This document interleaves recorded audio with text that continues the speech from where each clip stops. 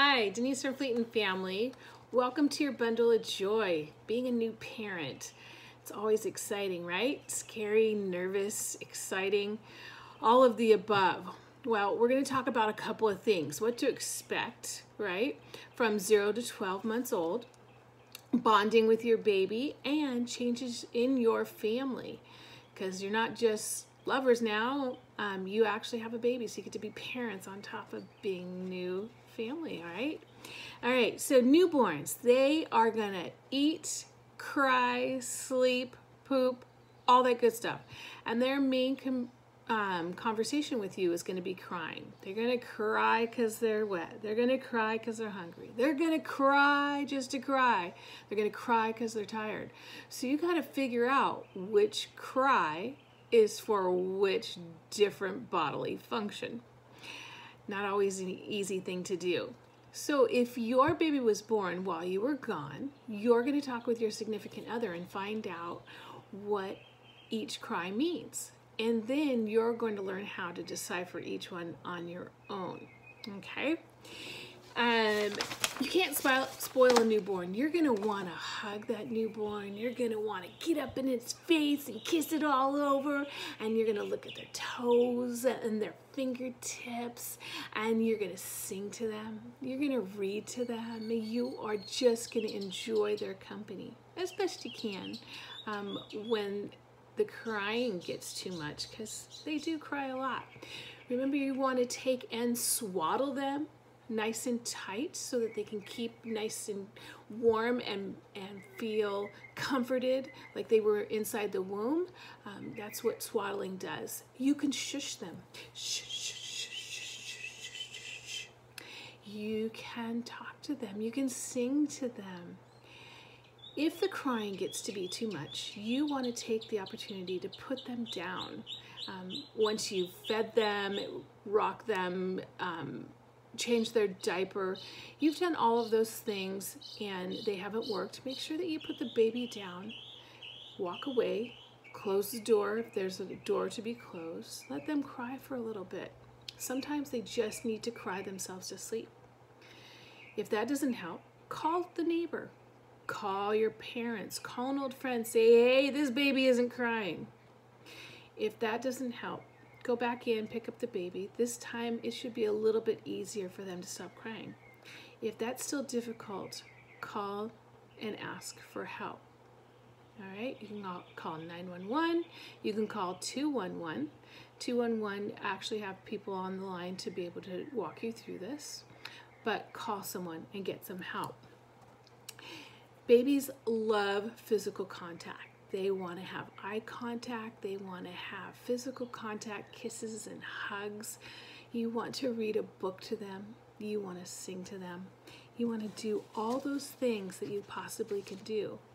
Now, one of the things that I highly suggest is that when the baby is sleeping, you sleep as well. Because if the baby's up in the middle of the night, you're up in the middle of the night. If the baby's going to nap during the middle of the day, you nap too. Those dishes will wait. Um, remember to spe spend some quality time as a family together. Even though the baby is an infant, it's still having those regular scheduled times to um, sit down and be a family is always very welcoming it's good to have routines, keeping the routines up. If your baby was born while you were gone and, and they get up at six o'clock, the bottle gets made and they're fed by 6.15 and then they're down for a nap by eight o'clock and then back up for um, a diaper change and some feedings by 9.30. Keep all of that going. It makes it much easier for everyone once you do have those routines set and you keep them going. Um, by three to six months, they will remember some familiar objects. They'll be able to reach and grab for things. They will vocalize. Um, they can sit up with support and they show their emotions. They might get scared or they might be excited and they will start to show that. From six to nine months, they grow more um, acclimated to be able to sit up and crawl. Um, one of the things about crawling is they don't always crawl forwards first. They get up on all fours and then they go to move and they move backwards. Oftentimes they will roll from side to side to get where they need to be. They will chatter.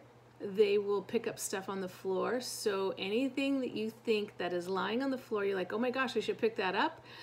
And the baby's close by, odds are you are too late to think about it. so make sure that you're cleaning up after yourself, especially with stuff on the floor. Um, they become aware of others and the teething begins, the drooling. It makes it easier if you, oftentimes you have a bib around them because they will soak their pajamas or their outfit that they are in. From 9 to 12 months, they are crawling and sometimes even walking places. So you want to make sure that you've baby-proofed things. Um, they may say a few words, mum, mum, mum, mum, mum, mum, dad, dad, dad, dad, dad, dad, ba, ba. Um, whatever age your child is at, oftentimes people are using baby sign language, and that's a nice way to start them communicating with you. Um, they have classes online, so you can always try those kinds of classes, but always communicating using verbal um, instructions, talking to the baby, they will eventually pick all of that up. So the more you talk to them, the better they'll get at it. But you also have to wait for their responses, okay? Um, maybe they answer with, you know, up, up, you know, pointing or maybe they say please if you're signing, but always use those words and try to help them mimic you. Um, also with this 9 to 12 months, remember that they're imitating, of course, but they are um, feeling happy and sad and mad, and you can identify those feelings when they show that. Maybe they're scowling or maybe they're showing a smile. You can say, Are you happy today? Are you mad today? Um, bonding with your baby is going to take time, especially if you weren't there when the baby was born. Um, perhaps you have done United Through Reading and you have utilized the opportunity to read a book to them and send the DVD home so that they could hear your voice. And once they're they start um, recognizing by watching the DVD and seeing your face. Excuse me. Um, again, talk with your significant other. See how the baby's doing, what kinds of things are working and not working. Because you are another person, the baby's going to adjust to you a little bit different than what your significant other is used to. Be patient with one another. Be patient with the baby. Yeah, it's such a joyful time.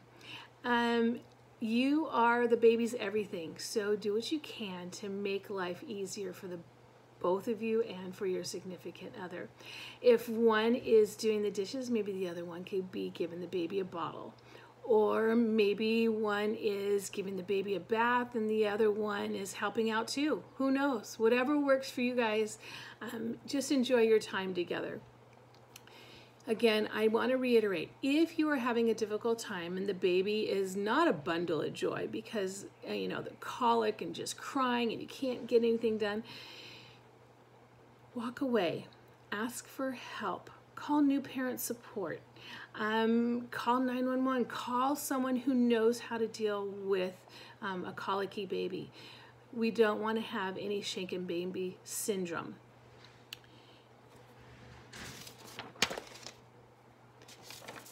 All right. Do what you can. Remember, if you do feel frustrated, walk away. It's okay. Remember that you need to have a family care plan in place. It once this you have the baby, you have 60 days to get that up to date. I know things are a little bit tight right now because of the coronavirus, but this is the time for you to be able to sit with your significant other and figure out a plan of attack. If you are single military or dual military, you have to have this in place. Some key resources is, of course, Fleet and Family, and we do have some parenting classes that you can take. Maybe they'll be online right now. You can also call for new parent support and ask for their advice. There's the Red Cross and WIC program, Military Outreach Ministries, United Through Reading, 211, Navy Legal Services. You want to get in touch with TRICARE and Dental, your command financial specialist if you need help monetarily to get your finances and budgeting for baby. There's the Focus program, of course, Military One Source, and Fleet and Family. If you have any questions, please don't hesitate to call 866 923 6478. Thank you and congratulations.